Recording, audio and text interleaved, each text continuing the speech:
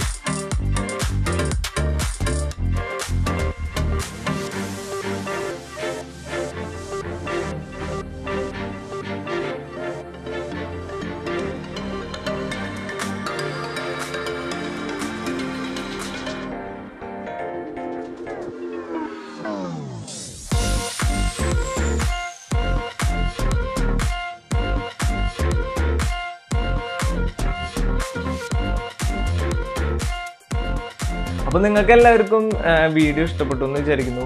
ഈ ഫോട്ടോ നിങ്ങൾക്ക് കാണണമെന്നുണ്ടെങ്കിൽ എന്നെ ഇൻസ്റ്റാഗ്രാമിൽ പോയി നോക്കിയാൽ ഞാൻ അപ്ലോഡ് ചെയ്തിട്ടുണ്ട്.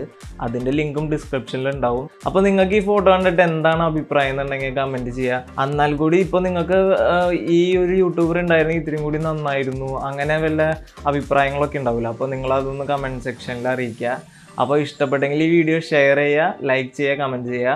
അതുപോലെ തന്നെ നിങ്ങൾ ആദ്യമായിട്ടാണ് ഈ ചാനൽ കാണുന്നതെങ്കിൽ തീർച്ചയായും ഈ ചാനൽ സബ്സ്ക്രൈബ് ചെയ്യുക. താഴെ കാണുന്ന ബെൽ ബട്ടൺ കൂടി പ്രസ് ചെയ്ത് കഴിഞ്ഞാൽ ഞാൻ അപ്ലോഡ് ചെയ്യുന്ന വീഡിയോ നമുക്ക് നോട്ടിഫിക്കേഷനായി കിട്ടും. സോ നമുക്ക് അടുത്ത വീഡിയോയിൽ കാണാം.